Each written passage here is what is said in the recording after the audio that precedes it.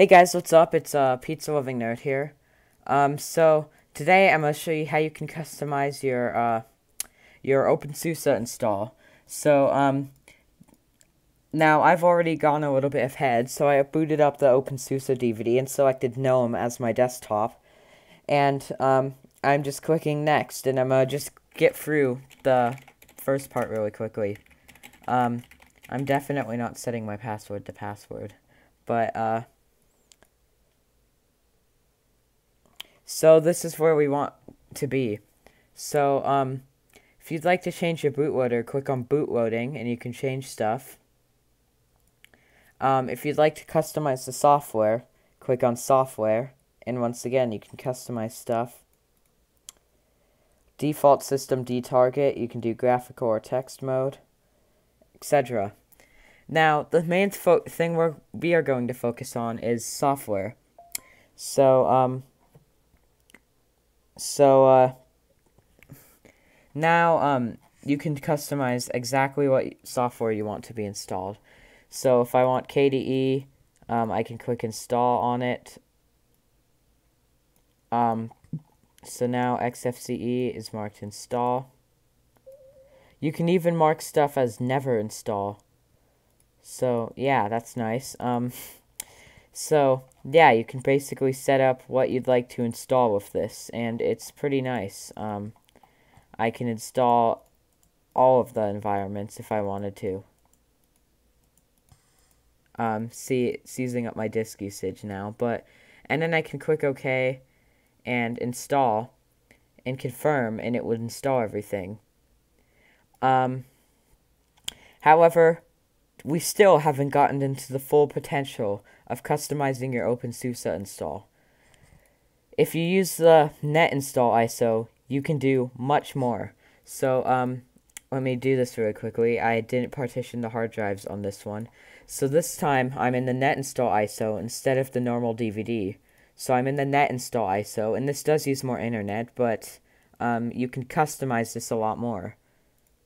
Um, Dang it, did I close the other uh, VM? I think I did. Oh, no, I didn't. So we're just going to open this as reference for later. Anyways, let me go over and set up some partitions really quickly. Um,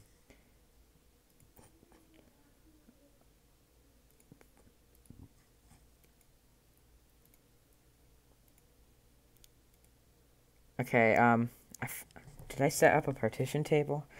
Um, all right. Um, so once we get over to the software, um,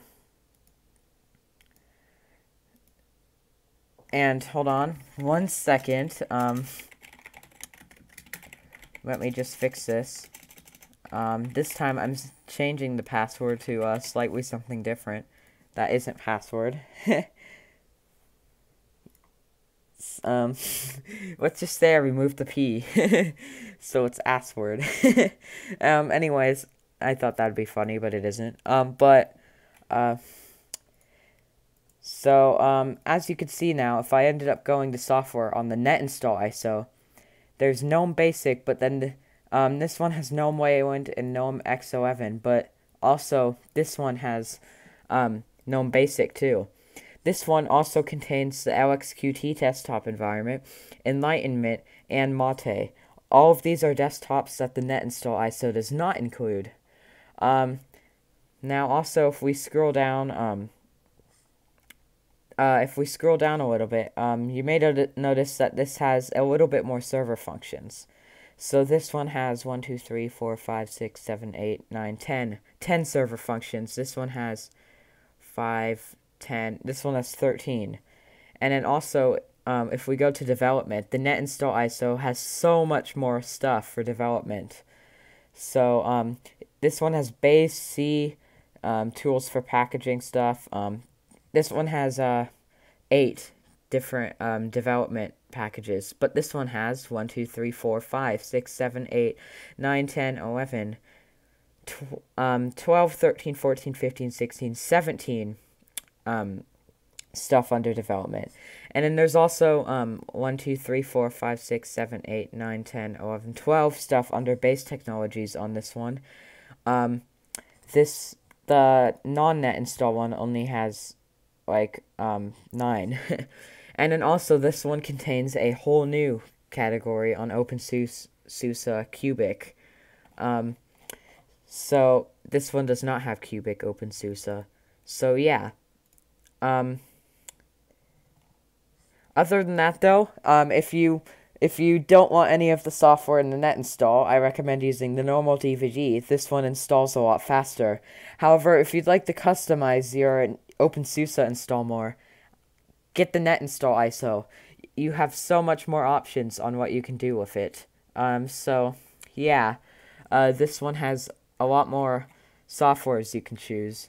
And yeah, so I'm going to be using the net install for um, as my preferred ISO for OpenSUSE. So, yeah. Anyways, thank you for watching this video, and I will see you in the next one.